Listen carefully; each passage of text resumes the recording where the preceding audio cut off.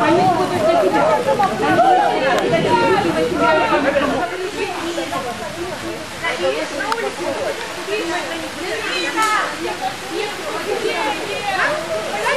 Ё-моё, что они, блядь, а?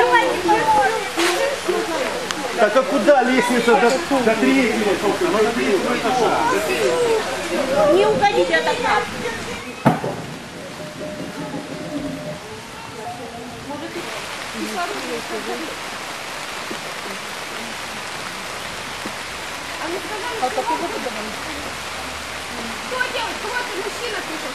Правильно, они его могут купить. Но за это нужно платить, понимаете? Когда не едет за год, никто не видит за А им по дорогам.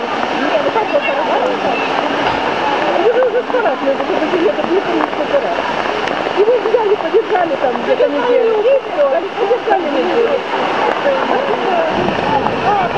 Воды нет. Вот, о, магазин нет. Да? Ой, надо еще, это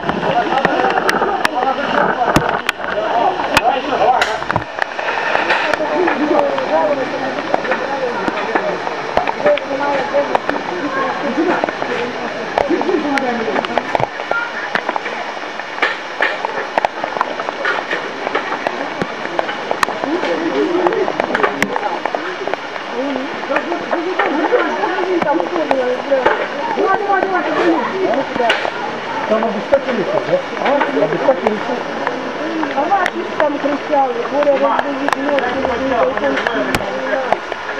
там Настя, и тогда, Господи, сидела, ходила, Боже,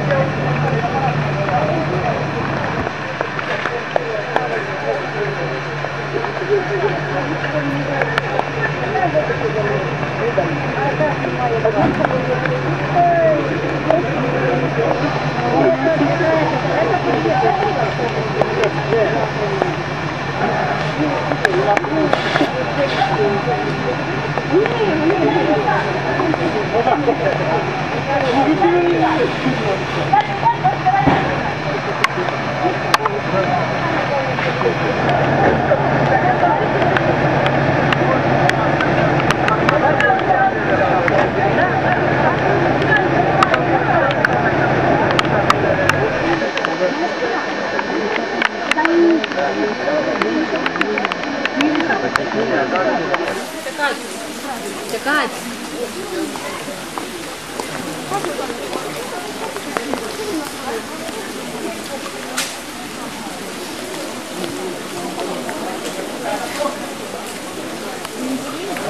Там є ще й гостільник приїхали, дівчинка з Херсона, племянниця Аніна ну, з дитиною, і Настя там. І вони не можуть вийти, бо дуже дим і вода тече. То десь ці МЧСники мінялися туди до них.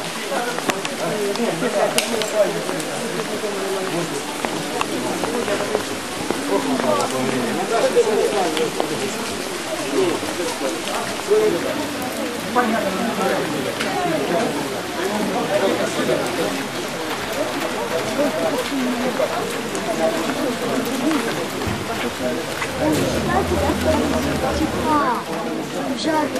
не знаю, ми Я знаю. Я.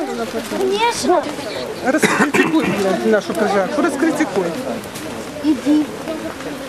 Пожарная охрана на поселке Теплодар. В городе. Ну, город Теплодар для меня был поселком, так и останется поселком Теплодар. По моим меркам, как бывший пожарный, охранявший ТЭЦ-2 в Тюмени, уровень подготовки, по моим соображениям и по моей оценке, нулевой, вообще никакой. Вот. Настя. Настя вынесла. Как?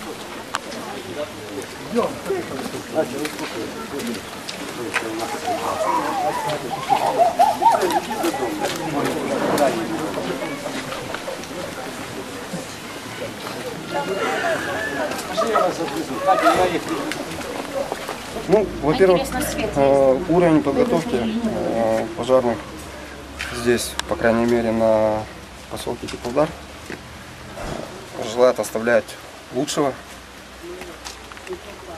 Во-вторых, зарплату пожарным надо поднимать, чтобы они работали за что-то, а не на ура.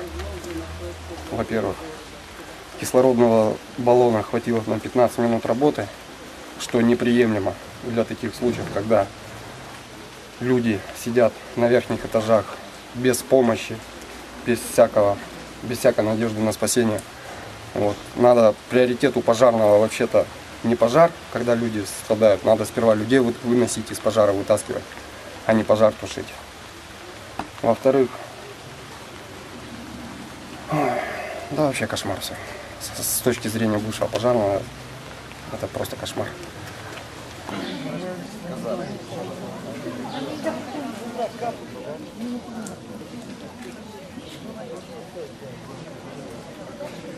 Thank you.